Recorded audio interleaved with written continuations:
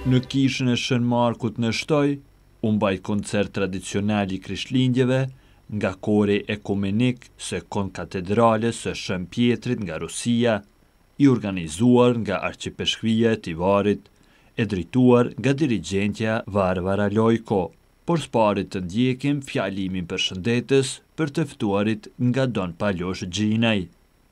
Para Krishtlindjeve me e shiju një koncert i cili na nimon me zgju disa ndjenja të jetës të gjallnisë mrena vetvetes edhe me i thanë Zotit faleminers edhe njani tjetrit.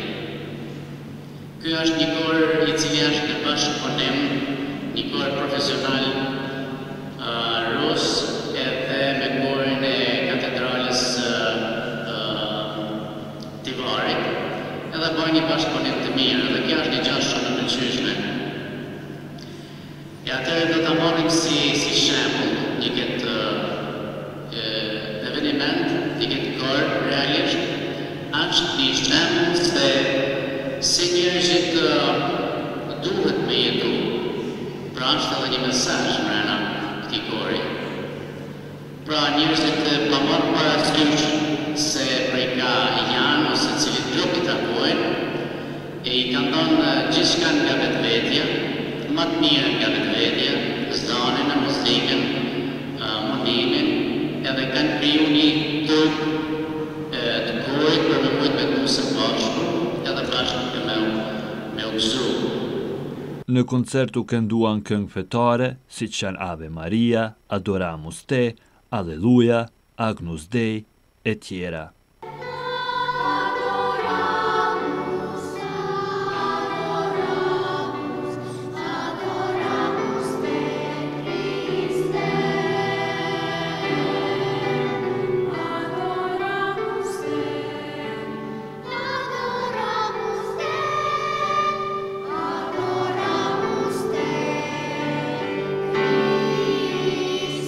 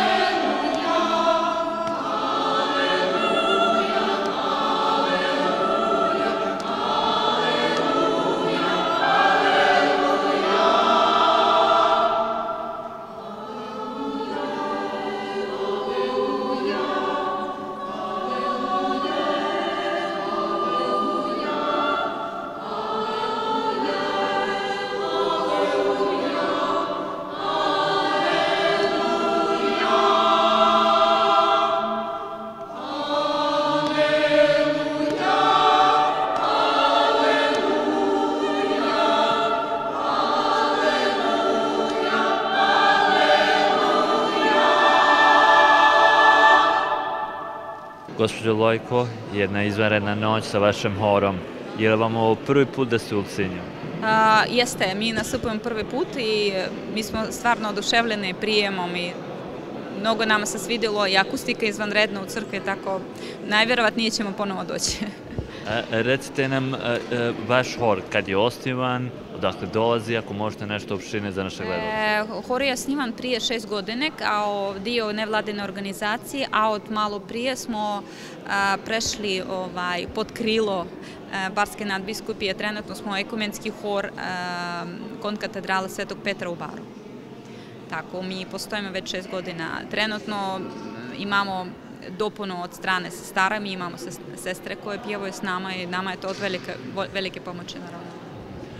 Kako vam se učinio, znači, kad se ovdje već e, prvi put e, kako su vas primili do sada, kako vam se čije vaš utisak?